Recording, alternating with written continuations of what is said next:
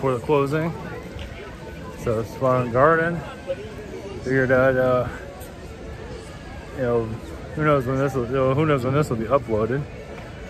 Uh, so yeah, no Universal this month, most likely. So far, you wouldn't know that that thing was going around at, at this moment. So, all panic for nothing, as usual. So yeah, you know, I'm used to hurricanes and everything. So yeah, I'm used to I'm used to like disaster zones and situa you know, and this is the same thing basically. You know, there'll be hot zones, but this isn't one of them. So good luck on telling everybody that. Most people aren't used to this type of thing, or just some just have common sense. But either way, nothing to panic about. Just let it ride itself out with the disease. All right, so and connect a little bit and get the hell out of Dodge. So, all right, blessings. Here we go.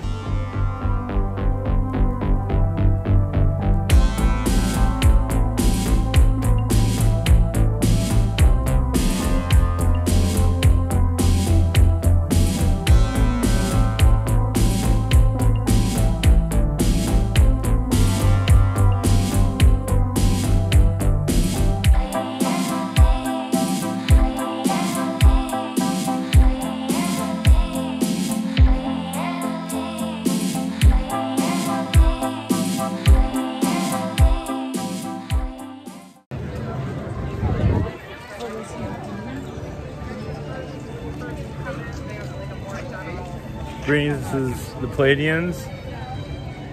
Also, we are connected to Ben Affleck's higher self. Yes, it's an unusual connection, but these are unusual times. Basically, you can see it through, not to put Ben Affleck on a pedestal, but to give you an aspect, remember this is from his higher self, so this is allowed. But yeah, it's basically, it's showing that somebody, a person that has sex addiction, that is from the Pleiadian energies, but learning from your world to find his own identity. He's gotten lost many times. Basically, you show the Pleiadians can be sex addicts, and they are. But on their worlds, it, it's you can get away with it better. On this world, not so much. It's another way of slowing one's addiction down. It's not just alcohol addiction; it's actually sex addiction. The alcohol addiction is just to, you know, to put in your face basically or to yeah so it's you know it's easier to publicly talk about that than sex addiction. But, that's pretty much what's going on. It's it's a Pleiadian Pleiadians have their their difficulties. As for you know making love and making you know connections and some can get kind of lost on many many levels. That's what's occurring at this time. And it is a so on their world, it's okay. You can go raw hump everybody. Whoever is uh, open up, whoever wants to, you know, it's very human. You know, animals do it all the time. It doesn't always go so well, but it's animal-like in some ways. On a Pleiadian world, it's a little bit more, you know. You know, how do you think you get to know who you know? You have worlds where everybody's doors are open basically. And disease isn't that rampant. Now it does get rampant eventually when it's time to slow all that down. But this is on different versions of Pleiadian worlds or it's like okay I did my raw hump forever and that was fine. 15 20 lifetimes like that thousand years of screwing basically. And then eventually it's time to do other things. But it does have a, a positive to it especially those that don't have any relationship energies have shut down, had a lot of negativity, and it's another way of showing love. But of course, it has its drawbacks of not knowing yourself. So some can get carried away with it, but that's kind of idea. So addiction isn't just on your world, it's on other worlds. So to give you kind of a understanding of that, and it's a, an area of incarnation cycle that I don't believe people really understand. So this is our short message though.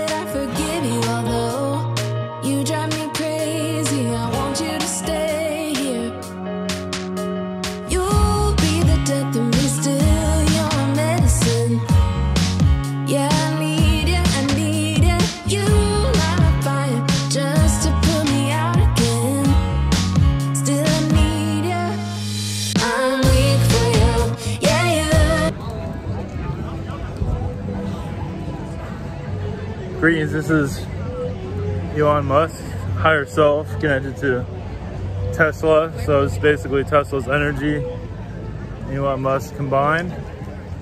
So notice how their energy shifts in your technologies. Realize the Zeta energies that are hidden. There's Pleiadian, Pleiadian Nordic beings. There's countless, even very advanced reptilian beings that have not showed themselves on their world. You're basically letting go of the third dimension reality that allowing these technologies to come in as you can go into space. So it's another indication of fourth dimension coming through. Now, many are, yeah, it's a gradual process. Basically, as your technologies evolve, your fourth dimension evolves. This is probably something I've never heard before, but we're reiterating it anyway. As basically you're letting go of third dimension idea systems, this virus is a slow exit from idea systems. It's, it's like many are going to still hold on to the old system for dear life. As change, you notice how change is being forced on your society. Many are going crazy. You know, Trump is the villain and all that. It just shows that your, you know, change is how hurtful change can be. So it's happening gradually through technology. Spiritually, many are not ready for it because they're not believing in themselves their spiritual self. They're not ready to dive into that aspect. They're so busy learning the physical reality still. You know, they're enjoying it. They can't get enough of it, as you can see. Some of you have had enough of this place. But some of you have brought technologies here, buried them within the earth. Atlantean technologies, but not, there's others also. A lot of alien beings seeded a lot of technologies here that have not been birthed or discovered on other worlds. Yeah, so it's just a world that is very unusual. It has just not just you, your DNA, but also other aspects of learning has not been clarified and won't be for some time.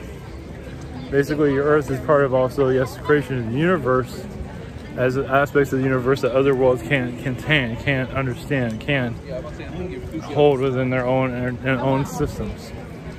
So basically, your world is doing what other worlds cannot. Maybe at a lower vibration, but that doesn't always mean a bad idea. It doesn't mean bad. Your souls are growing and learning more about themselves here than do in other realities. So it's just a, yes, a growing up process and technologies within the soul. Because the soul allows technology. Basically, you have, yes, you have technologies within yourself, basically. And you all have Akashic record abilities too to bring down, but it's not always necessary for that. If we're all doing that, it's not necessary. There are worlds where many are pulling Akashic record information and really taking your world, but those are usually at higher dimensions. And third dimension, it's not necessary for your reality. There are versions of Earth where that's occurring. When you have an Einstein on every block, basically. And just going to a higher vibration, bringing all kinds of things you can imagine. But you're here to learn about your soul, not about technologies that you can create. Your soul is not the easiest to recognize. There's so many layers within the soul that many forget in the higher dimensions don't want to see. That's why a lot of adolescents are here, a lot of souls here that are are childish because they have it's this is the world that may help them grow. Get over that, mature, mature on level, and maturing is so difficult. I can see even here with Disney, everything's very childish. Human adult can become a child again. And that's also for the adult to become an adult too. Is to heal that heal that aspect of the child self so you can see more in a third dimension reality. Third dimensional worlds can't have higher dimensional technologies here. Like you see in Star Wars, the spaceship can fly in the sky, sky and all that without no problem. You can't have that, but the soul here is so unevolved. It's evolved, but it can be evolved even more. Just showing your possibilities. Basically, you can connect to the, to the ship itself, to its AI telepathically, and operate it without hand, without your hands. Of course, someone would much rather that, but there's just different ways of going about it. Basically, we have higher dimensional technologies here, but also you, you yourselves are higher dimensional too. But you're still at a third dimension reality, a physical reality. It can't happen.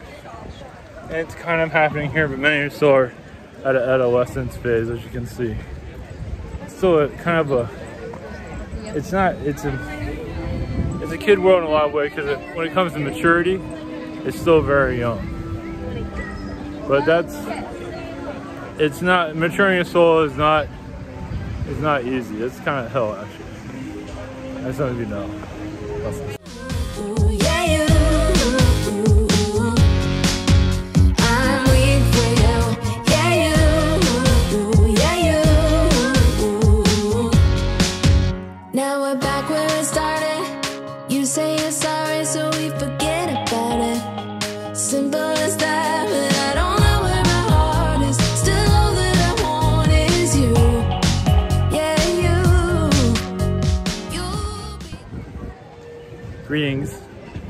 Rainbow Brite. Realize that the cartoon depiction is similar to the other way. This is energies of enlightenment, letting not to judge, non-judgment worlds where the soul can relax. Souls have been through hell, those that cause mischief, draining other planets, destroying them. A rainbow planet like my own, rainbow dimensions, rainbow realities can heal the soul on many levels and forgive. Similar to the higher dimensions, it's a little bit more physical. There are fourth dimension realities and third dimension realities. Where where magic is more powerful, where a tree can come to life. Where a tree turns a rainbow, talks to you, have a conversation, and you just have the best day ever. So it's a rehabilitation planet. But realize many of you that cause difficulties in other realities are here to come to this world to, for karma, but also teach others of your of your energies to end the wars. Many of you in Astral are fighting a war. You fought wars and caused devastation in your past. So you encountered it on Earth to do a different type of war and the corruption, basically, on a level that you might not always see it in the physical if you're just living a normal life. If you're astral, you're doing a great deal. It's just not as attractive as you might think, but then again, it is.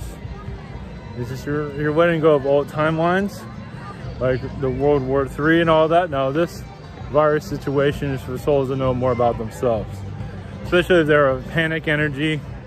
Many just love to panic. It's part of their characteristics, and they're cute at times. And they can their cuteness can get kind of overblown and everyone can get tired of after a while as many of you have experienced. So you're bringing in a new vibration into earth basically. Having my energies here is basically energy of forgiveness. Forgiving many souls that just are just in pain. And many of you know that there's a rehabilitation realities and spirit does help but it can't you can't always access everything in spirit. Everything just of joy and love. Maybe you go into lower astral and slowly come out. This is a lower astral world. But there's a lot you can learn from it. Now you can bring more positive energies in as many of you are, are working on right now. But many of those that are bringing positive energies don't realize, realize the darkness within themselves. So that's why it's not, the positive energies aren't, is when you recognize it, recognize your own darkness, your own little vices, it becomes easier to use your light. Many just ignore their darkness and then just out of nowhere they're just an asshole basically. And it's like, wow, that positive person is not so positive after all. At least from my experience. So this is where you're recognizing that darkness. Its soul growth at a highest level because many worlds you don't have to access it. This one, it helps to bring in the positive. I realize your darkness, I realize my own darkness, and we can all be at peace together. Many are having that that discussion with themselves. They say I'm positive and that's about it, and then they go on their merry-go-round of life in their fantasy distortion world. And you'd be surprised how many are on that train at this time. And there's others that are teachers that tell them, yes, you have a positive energy, you know better than others.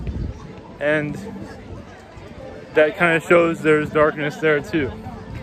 So even the teachers have a lot to learn. And knowing that teaching the teachers is easier said than done. But many of you want to move on, have a better life, bring in better energies to others. So having open mind, willing, willing to learn at a teacher level, a student level, really helps us.